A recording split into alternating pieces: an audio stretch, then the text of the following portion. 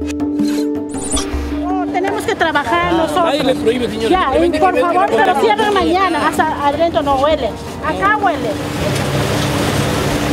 Estamos vendiendo, señor, por favor, tienen que saber entender. ahorita. Está No huele bien. Ahí están expuestos el pescado, el pollo, todo ese olor. La pestilencia. Está bien, pero hasta adentro no huele por hoy día y mañana lo van a cerrar.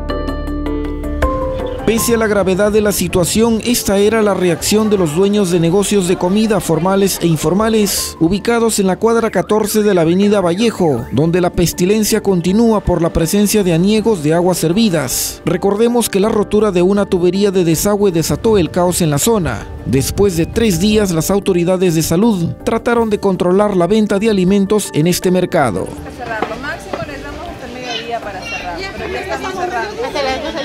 Ya, pues, son las doce ya, pues, tenemos que cerrarlo ya. Nada, Estamos tratando de, de que se cierre este mercado, sobre todo para prevenir algunas contaminaciones que puedan haber.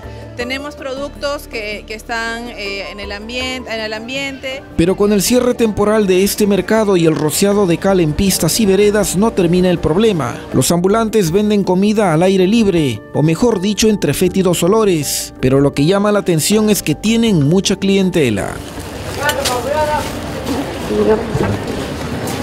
En todo caso no podrían ir a vender más allá porque esta zona todavía está. Sí, sí, mañana vamos a ir a otro sitio ya. Ya- Por acá, hoy vamos a estar acá. con los ambulantes, ¿qué va a pasar?